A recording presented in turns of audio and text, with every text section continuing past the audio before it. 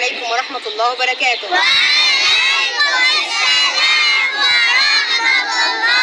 ازيكم يا سنة أولى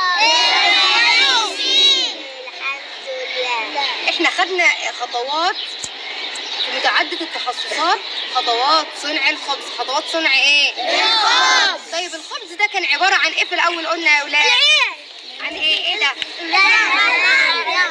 غلة إيه لا سمسم ولا قمح؟ القمح. ده بيجي منين القمح ده يا أولاد طيب بعد ما بيزرعوا ينفع أخبزه على كده؟ أمال بقى اوديه فين؟ الطاحون أو في المصانع بتاخده؟ المطاحن. بتعمله لنا إيه المطاحن يا أولاد إيه؟ دقيق. زي ده؟ طيب بعد ما باخده أقدر كده أكله عيش؟ طب في خطوات لازم أتبعها. إيه هي الخطوات؟ نحط ميه وبعدين ندبدبوا عليه أيوه ونحطوه هذا ونحط أيوة. ونحطوا خمير. برافو نحط خميرة. إيه تاني؟ ومية. ونسيبوه يخمر. وبعدين نحطوه في الفرن. وبعدين نحطه فين؟ في الفرن.